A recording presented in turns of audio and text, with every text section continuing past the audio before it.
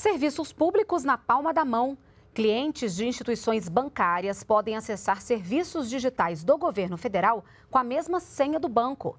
Entre os serviços estão o Meu INSS e a carteira de trabalho digital.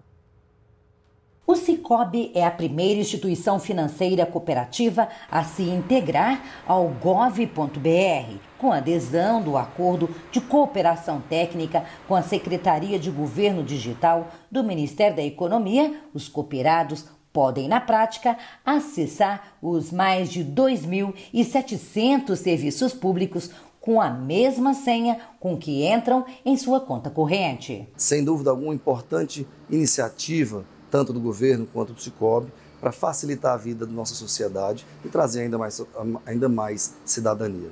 Atualmente, 93 milhões de brasileiros têm cadastro no gov.br, o que permite o acesso a serviços digitais de 11 estados, Distrito Federal e 74 municípios. E a ideia do governo é cada vez mais facilitar a vida do cidadão que precisa resolver suas demandas com o governo federal de forma ágil e segura principalmente nesse momento de pandemia. O gov.br já é um dos maiores portais de governo do mundo. Nele estão disponíveis informações de todos os ministérios de mais de 4 mil serviços públicos. Nosso objetivo é colocar o governo na palma da mão de todos os brasileiros, 24 horas por dia, 7 dias por semana.